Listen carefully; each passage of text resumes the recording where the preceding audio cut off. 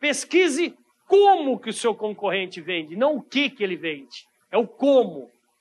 Ou seja, eu sempre estou pesquisando e mapeando todos os meus concorrentes de saber como que esse cara está vendendo. Eu aprendo muito com palestrantes da geração Y.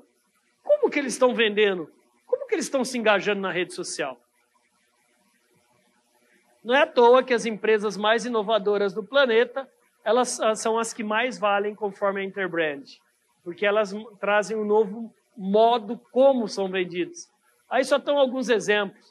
A Amazon está aparecendo já em quarto, ela não está nem aí, mas no, no Interbrand novo, nessa aí ela está em último, mas já está em quarto. É o como que vai fazer você vender mais. Ok?